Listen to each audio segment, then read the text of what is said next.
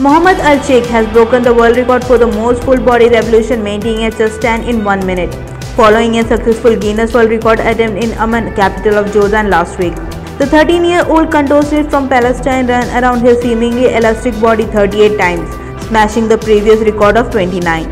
The teenage athlete record attempt was organized in partnership with telecommunication companies Orange Jordan and Wataniya Mobile Palestine which invited an official Guinness World Record judge along to verify the record on site. Al Sheikh, the Spider Boy, who was born with an exceptionally flexible spin, has been a complete athlete for five years now. In 2015, he entered Arab's Got Talent and reached the final three contenders, but his ambition is to go even further.